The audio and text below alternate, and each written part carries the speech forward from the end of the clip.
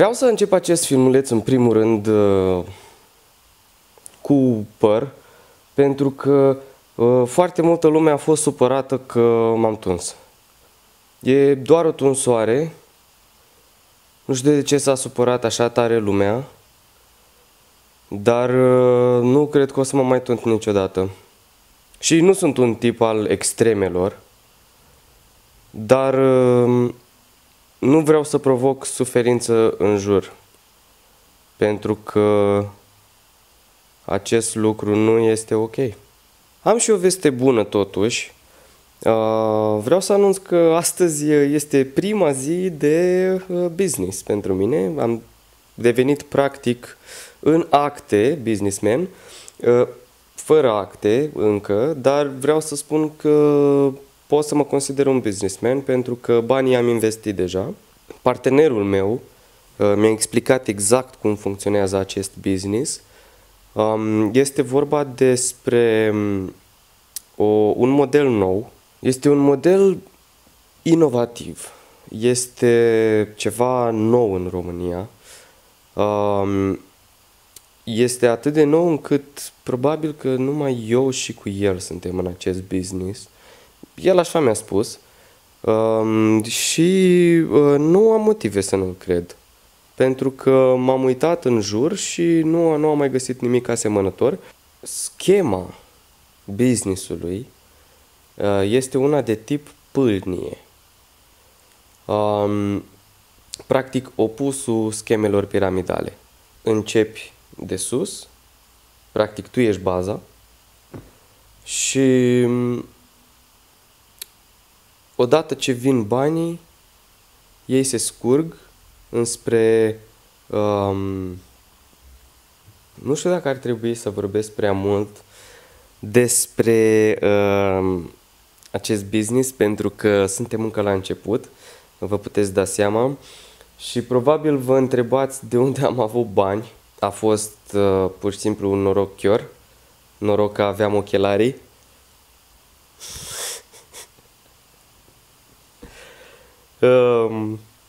da. Astăzi am primit bani uh, de la niște rude din străinătate pentru o operație, dar operația nu este decât peste câteva săptămâni. Pur și simplu a fost uh, să fie. A fost practic destinul meu să mă întâlnesc cu acest uh, tip pentru prima dată.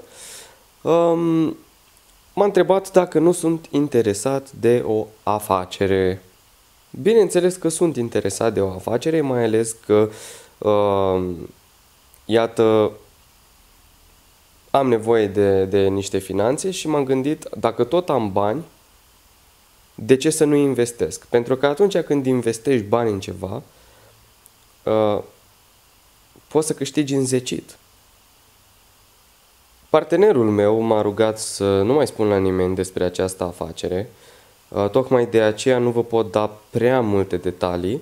În primul rând îmi place stilul de businessman, îmi place viața de businessman, îmi place să fac business. Uh, mi-am dat seama că un lucru pe care trebuie să-l faci este să te dai cu parfum.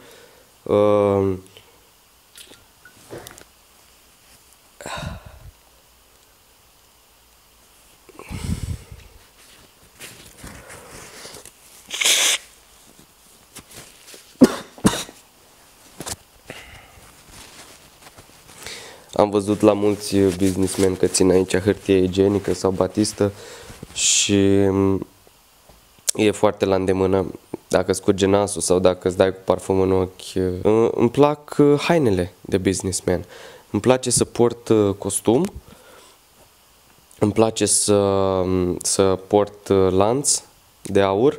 Acesta nu este de aur încă pentru că uh, nu mai am bani i-am investit pe toți ca să pot uh, cumpăra acum un lans de aur, uh, dar cred că este o copie destul de bună și are și un ceas uh, drept medalion, pentru că un businessman trebuie să știe mereu cât e ceasul. Și pentru că uh, timpul înseamnă bani. Și atunci uh, trebuie. Bineînțeles că m-am gândit dinainte, uh, ca orice om de bun simț, uh, ce o să fac cu banii. Încă de când eram mic uh, mi-am dorit foarte mult o basculantă. Am avut una de jucărie, dar... Mm-mm. Și pentru că nu am șofer, va trebui să angajez în primul rând un șofer de basculantă. Voi căra produsele cu basculanta Probabil că nu, dar uh, m-aș distra de minune dacă aș avea o basculantă. E visul meu. În business trebuie să fii tare. Trebuie să știi ce vrei. Pentru că nu e pentru oricine. Um, în business trebuie să să știi să știi cum faci business. Ce contează în business? Banii. Uh, contează și oamenii în business. Contează și ei, dar oamenii poți să-i cumperi cu bani. Următorul pas pentru mine ar fi să-l aștept pe partenerul meu să se întoarcă uh, din străinătate Uh, pentru că nu putem vorbi la telefon. Uh, uh, mi-a, mi-a spus din prima că nu putem vorbi la telefon. De fapt, nici nu mi-a dat numărul. A spus că mă caută el. Uh, acum aștept, practic. Aștept să fac bani. E perfectă viața asta de businessman. Dacă voi deveni milionar, uh, Cred că îmi voi cumpăra o echipă de fotbal.